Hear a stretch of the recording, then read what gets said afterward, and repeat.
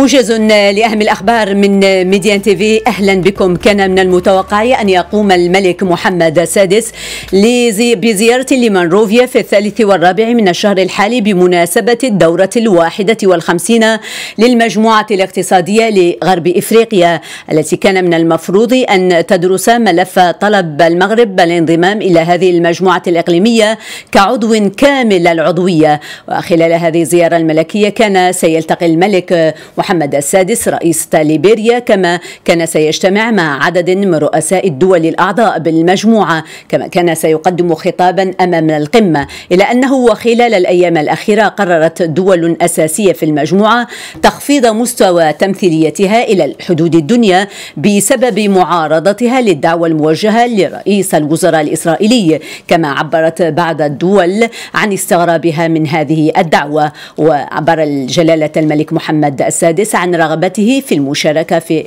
هذه القمة ولكن في أجواء لا يسودها التوتر والغموض.